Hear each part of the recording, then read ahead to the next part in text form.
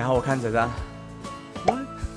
就是完全不懂，所以他说啊算了，来，然后就是给我安全帽，直接骑摩托车带我去公车站。所以我到的第一、第二个礼拜就遇到这么好的人，那时候就开始觉得这个地方人怎么那么好，这个地方怎么会跟其他的国家完全不同？大家好，我是 Nia Flash，好多人喜欢上一个影片。所以今天还是会走同一个系列的。首先要告诉大家，我不会拍马屁，但是我是真的很爱台湾。可能是因为我太幸运，我刚到达台湾，我遇到好多对我很好的人，可能因为那样，我才会爱上台湾。你要想象，十七年前的台湾跟现在的台湾。完全不一样。以前我记得没有那么多捷运，一些啊 A B B 等等，以前真的没有那么简单。现在台湾的外国人也多很多。我刚到的时候，我还是觉得我好特别，因为我连路上走路，大家都会这样看着我。哦，外国人有小孩子看着跟他的妈妈讲：“妈妈，妈妈，你看他是外国人。”我想现在。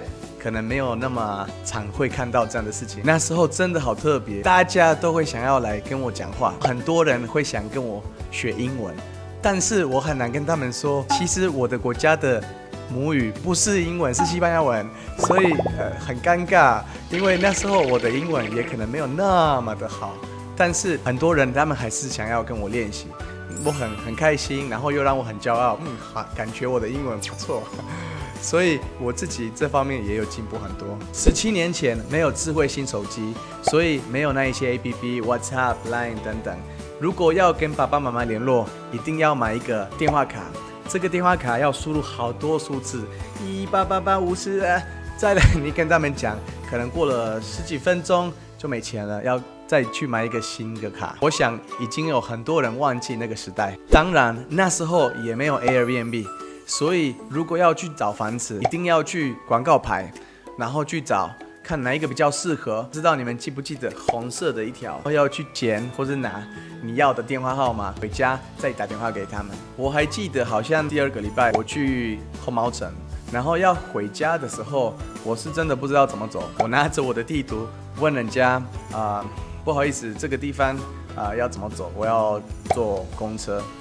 阿丹老师用一个非常烂的中文，他就跟我解释，哎，然后我看着他，就是完全不懂，所以他说啊，算了，来，然后就是给我安全帽，直接骑摩托车带我去公车站。所以我到的第一、第二个礼拜就遇到这么好的人，那时候就开始觉得这个地方人怎么那么好，这个地方怎么会跟其他的国家？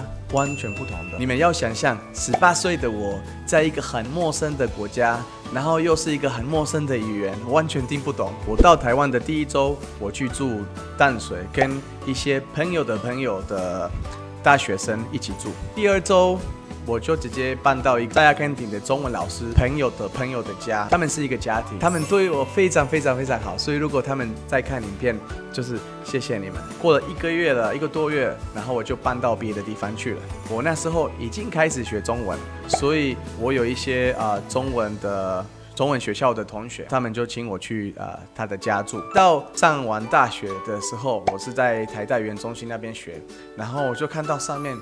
哇，那个地方有在有菜出租哦，那我就打电话给，我记得是一位黄先生，然后我就去了，我就看到一个非常大的地方，那时候对我很大，是因为有一个还蛮大的房间，一个小房间，一个厨房跟一个厕所，我就看到了这个地方，觉得太好了，我好幸运，然后我就租了，然后又没有那么贵，所以太好了。后来我才知道这个地方。叫做顶楼加盖，虽然很大，还是会有很多我本来不知道的小毛病。夏天的时候很热，冬天的时候很冷，电费又很贵，因为要一直开着冷气或者是一直开着暖气。然后遇到台风天，整个天花板会这样子一直飞，一直飞。我还记得有一次啊，我在厨房有放了一个苹果，去上学回来看到苹果被吃了一口，然后想说奇怪。这个瓶口怎么了？后来我才知道会有老鼠，然后会有很多很多老鼠。啊，真的，我我在准备这个影片，我就想起很多以前的故事，我觉得非常的有趣。比如说啊，那个房间的沙发是我从垃圾捡掉的，那些事情现在比较不会做，但是呃，这是真的，台湾 touch my heart，有太多太多的事情发生，所以呃，很高兴有这个机会跟你们分享啊，希望你们可以多支持这个频道。记得按赞、订阅。